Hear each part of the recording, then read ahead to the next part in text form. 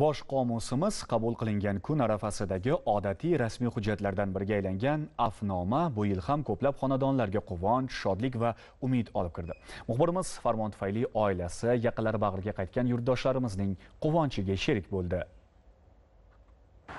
Umr inson uchun bir martalik beriladigan bebaho ne'matdir. Ko'plar ushbu ne'matni imkon bilib oilasiga va jamiyatga naf keltirishga intiladi. Ba'zilar esa ming afsuski har bir lahzasi qadrli bo'lgan hayotini panjara ortida o'tkazadi.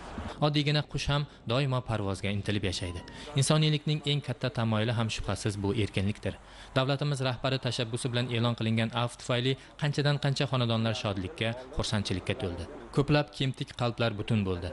Bilib bilmasdan jinoyat yo'liga kirib qolgan bugunda qilgan ishidan chin yurakdan pushaymon bo'lgan tanlagan yo'li noto'g'ri ekanligini qalbdan his qilgan ikki nafar yurtdoshimiz muddatidan oldin ozod qilinib surxondaryo viloyati ichki ishlar boshqarmasi qirq birinchi son manzil koloniyasidan chiqarildi va oilasi bag'riga qaytarildi. Oltinsoy tumanida istiqomat qiluvchi norqobil sherqobilov ham bilib bilmasdan jinoyat yo'liga kirib qolib uzoq muddatga ozodlikdan mahrum etilgan edi. U ham bugun ozodlik nashidasidan bahramand bo'ldi.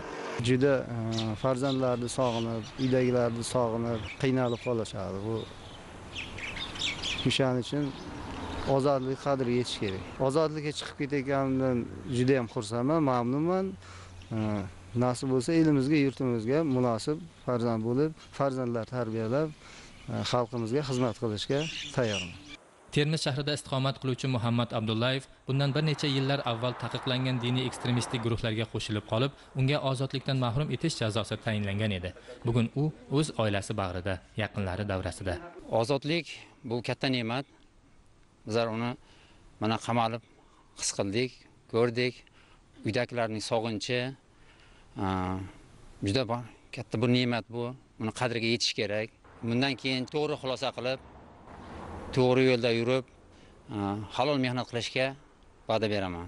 Bu kabi insonlarning oilasi bag'riga qaytishi yurtimizda olib borilayotgan insonparvarlik siyosati xalqimizga xos bag'ri kenglik kechirimli bo'lish oliyjanoblilik va mehr muhabbat ko'rsatish kabi ezgu fazilatlarning amaliy ifodasidir.